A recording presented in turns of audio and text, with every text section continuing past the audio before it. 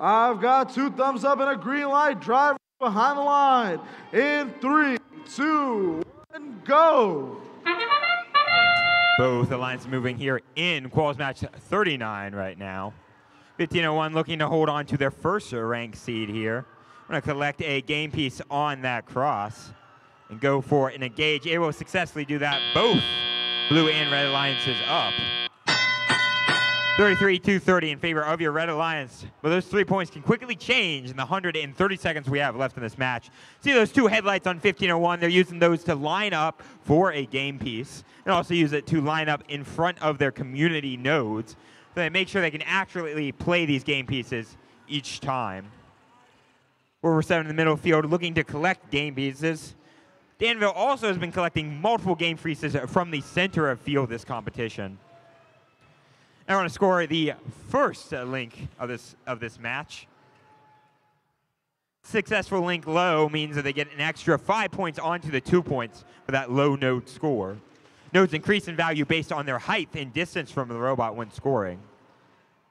4580 looking to finish a link for the Blue Alliance. Now Blue Alliance with two links. Red Alliance looking to score a cone high. 1501 successfully doing so. 59 to 67. Blue Alliance has taken back the lead now. We have fight up as these two teams look to score 45 or 76 57 placing high, 45 placing high. Two more game pieces to fill up the high row for the Blue Alliance. Danville trying to play a little bit of defense in the center of the field. Dropping some parts. 50 seconds left in 82 to 59. Commanding lead for your Blue Alliance. Deal one lining up again for a game piece. 44-85, pushing in some of the game pieces score low. Not all completely past that red line in order to score. 30 seconds left, 88 to 74. Red Alliance is catching back up. This will come back to engages here. Red Alliance has two robots going up.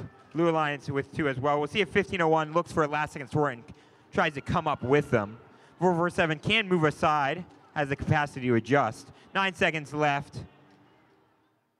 Six seconds, 85 to 91. Double engage for both of these teams. And a last second push in for 1501. Gonna help them finish off a last link needed for an extra RP.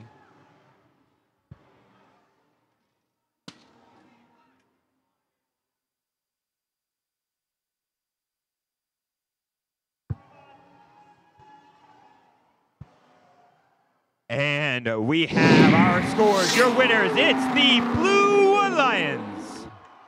Blue Alliance winning 121 to Reds 114. Thunderbots able to hold on to their seventh ranked seed. 15 1 also holding on to their first ranked position. Such a commanding lead. Blue Alliance scoring four rank points. That's going to be another unicorn.